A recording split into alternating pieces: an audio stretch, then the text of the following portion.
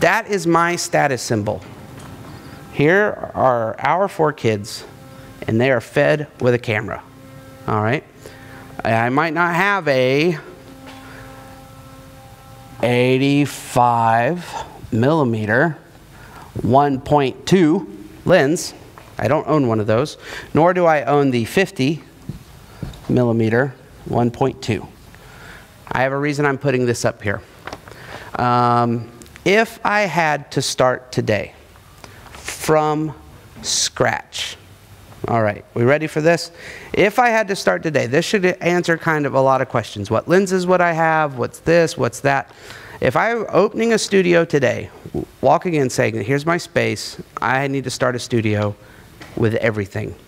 Here's the basics of what I would do, and I'm going to run it high and run it low.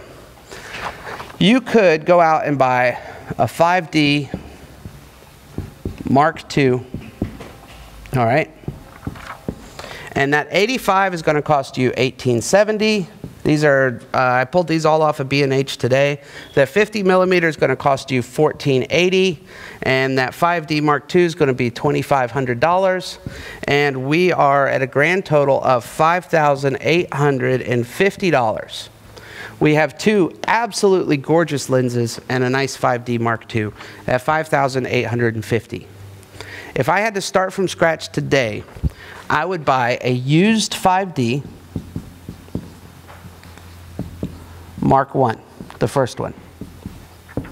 And I've seen them for a little less than a thousand. I've seen them for a little more than a thousand. Let's just call it a thousand. I would buy an 85 millimeter 1.8. And I could pick up one of those for $340. And I would buy a 50 millimeter 1.8 and I would get one of those used for 90 bucks.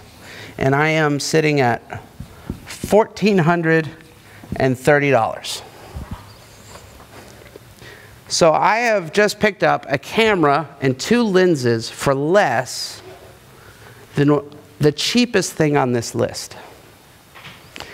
And I'm doing this on a budget because I want to preach you start simple, you start off with budget gear, and you grow over time. All right?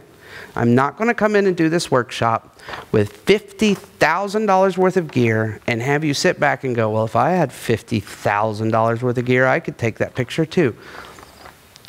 Cheap stuff, right?